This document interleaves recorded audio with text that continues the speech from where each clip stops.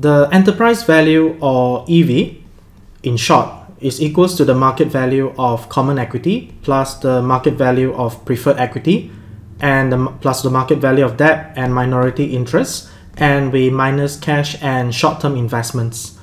So enterprise value is what we call the value of the business operations. Now, why do we subtract cash and short-term investments from the market value of equity and debt?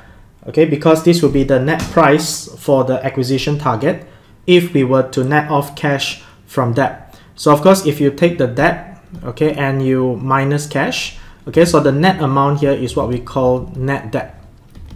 So another perspective of enterprise value is that this is the value of the business core operating assets. Okay, so we can we can define this as the value of the company's core operating assets. So what do we mean by these uh, core operating assets? Now let's look at a different perspective here. We will first start off with the accounting equation. So of course, assets is equals to liabilities plus equity. Okay, and we will consider all this from a market value perspective. So all these are in market value terms. So assets is equals to your non-current assets plus current assets. Okay, and for liabilities, you have the non-current liabilities plus current liabilities. And then of course, equity will just be shareholders equity.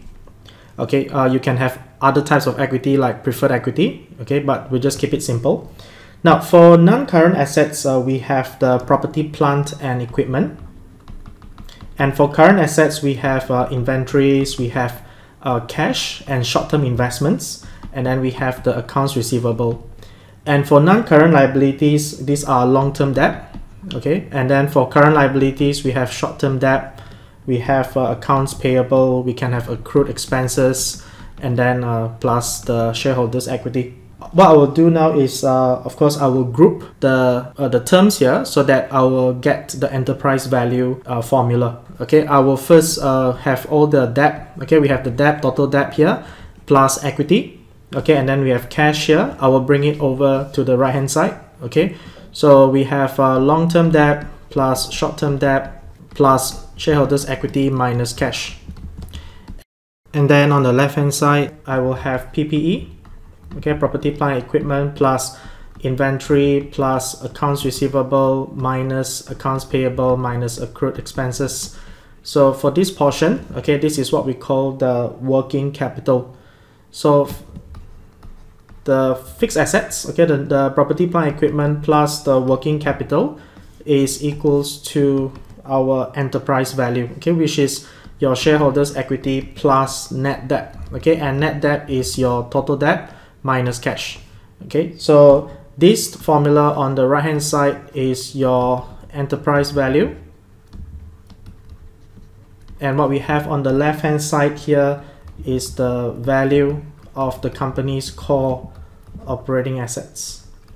So if someone were to ask you what does enterprise value represent, okay, it represents the value of the company's core operating assets which excludes uh, cash.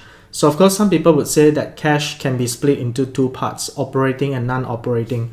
Okay, so for this case, I'm assuming that all these cash are for non-operating purposes. So this could uh, be excess cash that is not used for daily working capital.